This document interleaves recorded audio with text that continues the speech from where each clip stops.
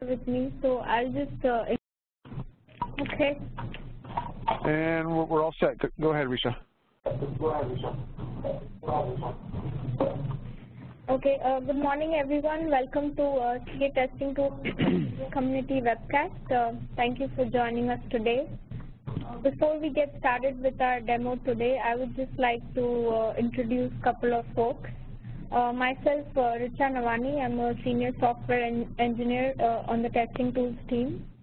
And um, I'm not sure if we have Mike uh, with us today, so I'll just move forward with the Intertest team. Uh, we have Scott Davidson with us, uh, the architect for Intertest. Uh, hello, Scott. Hello. And uh, we have uh, here with us um, Munish Kumar, who will be presenting today. He's a software engineer on the Intertest team. Uh, hello, Munish. Hi, Richa. So without spending uh, too much time on this, uh, I'll just pass it on to Manish to take over. Thank you, Richa. Uh, let's skip over a few slides here. So uh, today we'd like to uh, give a brief introduction and an overall explanation of, of the different um, panels that we have available to us within the Intertest Eclipse UI. So without further ado, we'll get started.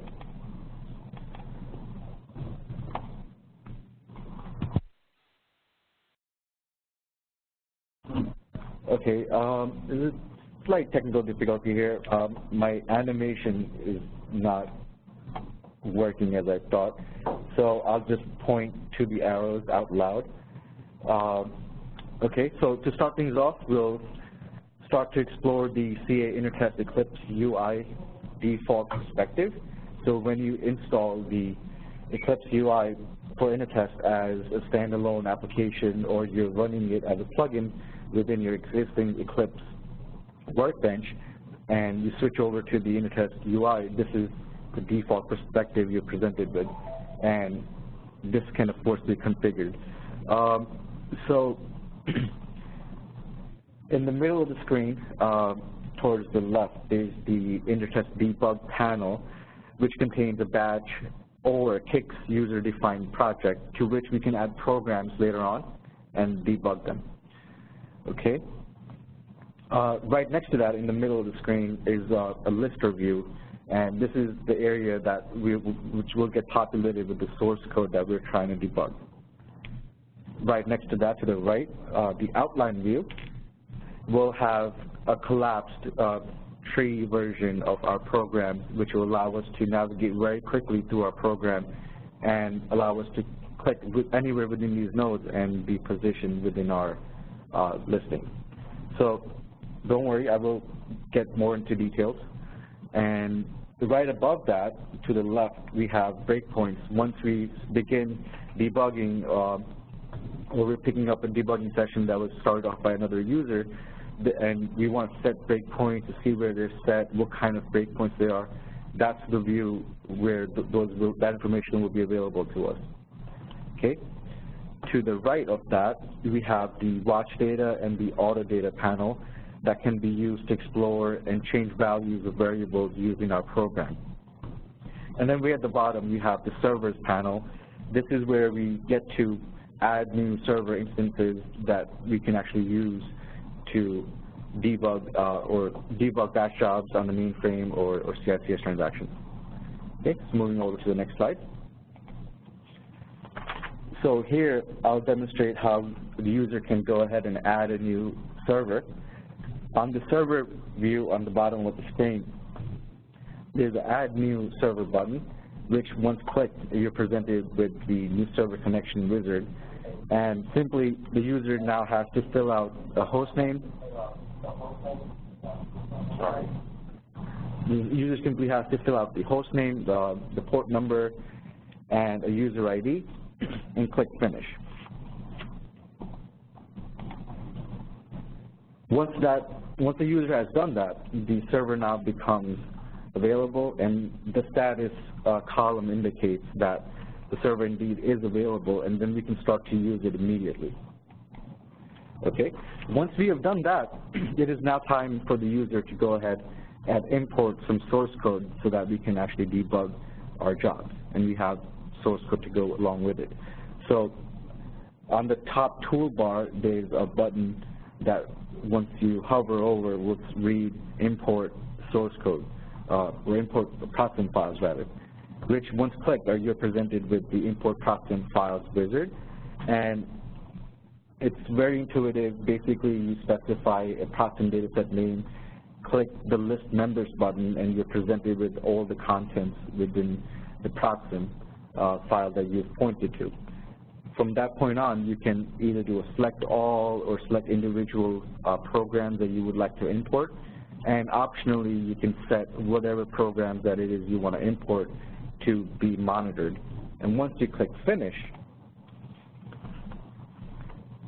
you can see on the InterTest debug panel on the on the left, under the monitored uh, tab, uh, we have the program that we just imported is being set to as monitored. Once once we have imported the source code, it's now time to go ahead and and configure a debug session, which essentially means I will point to some batch job uh, in, in a PDSE or a PDS somewhere on the mainframe. Uh, so in order to do that, click the tiny bug button within the InterTest debug panel on the left, and then you are again presented with the InterTest debug settings wizard. On this settings wizards page, uh, you can then go ahead and toggle over to the JCL settings tab and specify a converted or JCL that's ready to be submitted in order to debug your uh, program. So here I've already filled that out and the user can now go ahead and click submit. And what that will do is go ahead and submit the batch job and it will then be intercepted. So here you can see within the lister view, uh, you are now stopped at the initial intercept within the program that you're debugging. Okay, and the outline view comes in very handy. Uh, so I promised I would show you how to use this earlier. So basically, this is a, a COBOL program, and you can see that the outline view makes it very easy for the user to navigate the program. You can explore your procedure division, data division, working storage, and it allows you to click anywhere within this outline view and then be positioned at the appropriate line uh, within the actual source. Okay, so now I'd like to demonstrate how the user can go ahead and add various types of breakpoints within the program. So within the lister view, uh, simply right-click next to the line number where you would like to set a breakpoint, then select Add Breakpoint. And what this does is it will set a unconditional breakpoint, which can now be seen on the top left breakpoint view. In addition to the unconditional breakpoints, uh, provides the users the ability to set conditional breakpoints. So in order to set a conditional breakpoint, simply do the same exact thing you did with the unconditional breakpoint, right-click the line number and select configure breakpoint instead of add breakpoint. And the user is now presented with the add line breakpoint wizard, which we can toggle between whether or not this particular uh, breakpoint is going to be unconditional or conditional. If it is going to be conditional, the user can go ahead and set some operands, the left and the right side, and select some operator. Uh, so some of the operator values we have are equal to, not equal to, less than, greater than, and such. So once you have made those changes, go ahead and click Finish. And we can now see that in the top left breakpoint we now have an additional breakpoint, which is conditional.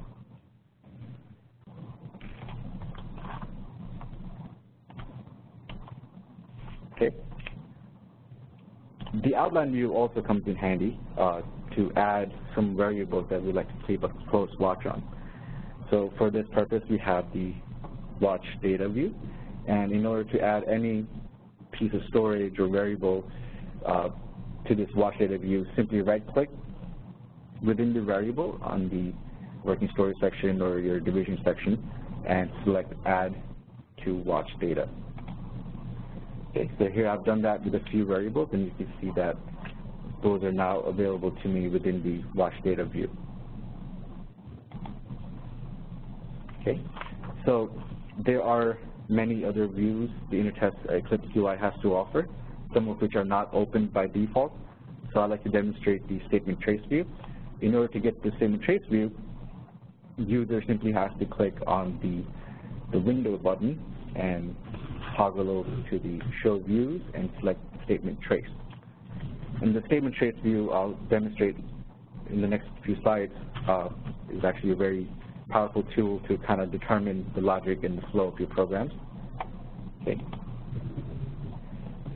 So we have just opened the trace view and we haven't started debugging yet, so it's blank. Okay.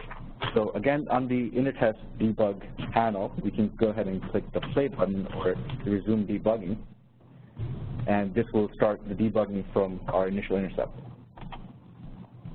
Okay, and as you can see now, uh, is that I have stopped at my first uh, unconditional breakpoint that I set, uh, and a few things have changed. Uh, the auto data section is now uh, view, uh, the view is now open, and I can see the, uh, the variable that's in play on this line, and also the statement trace view shows the uh, order of instructions that were executed up to the point where I am in my program. Okay. From that point on, I can go ahead and resume debugging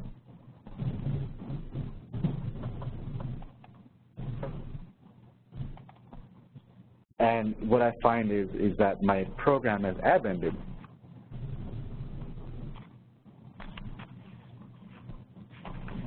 So this is an automatic abend, and Init is telling me that I did not set any conditional or unconditional breakpoints. This is something that occurred, uh, was an error in my program, and I've automatically stopped here. So I click OK.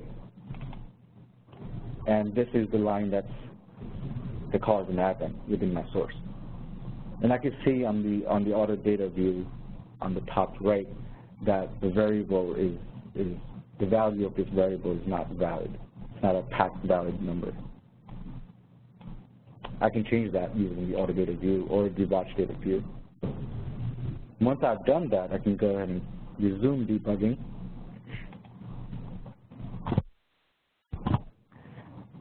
And once I resume debugging, I can quickly see that I've successfully finished my program, debugging this program and got a return code zero.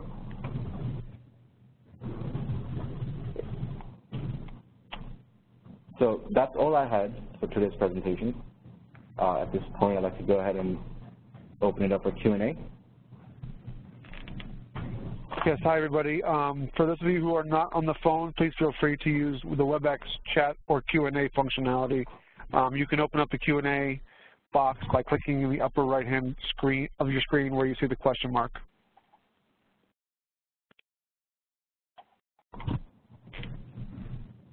So, uh, great presentation, Manish. Uh, thank you. That was very informative. And um, anyone have any questions?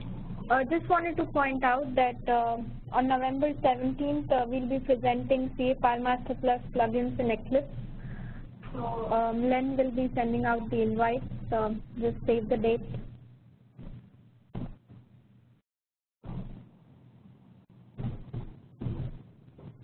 No questions so far, just FYI. Oh, here, here's one from, from, from Greg. How will we access elements in a scripted way? Array, sorry.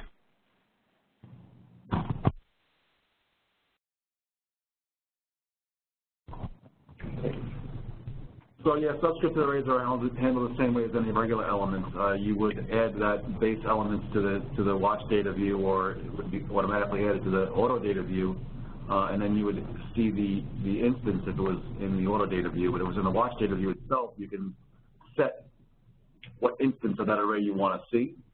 Um, if it was um, if it was subscripted, if it was if it was indexed, you could actually set the index value itself, and that would update the the view based on what the index value was.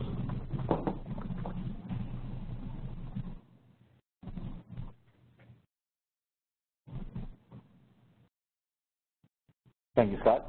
Uh, yeah, that was Scott. Sorry, I should introduce myself beforehand.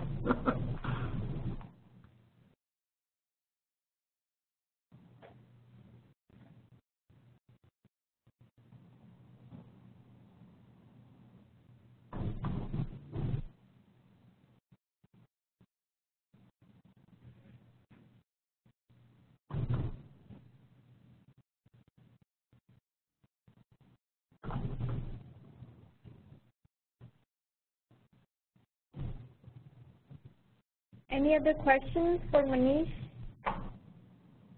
There aren't any in the Q&A box.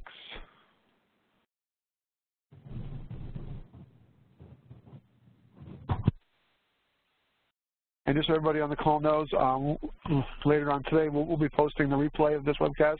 So if any questions come up later, um, please feel free to ask them in the community, and then we'll, we'll, and we'll be able to get you answers there as well.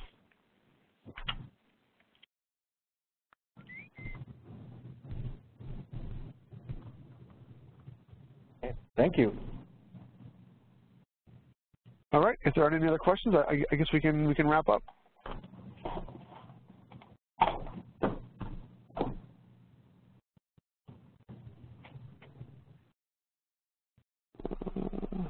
Okay, thanks everyone. All right. Thanks, everybody. Bye. Bye. The leader has disconnected. The conference will be terminated.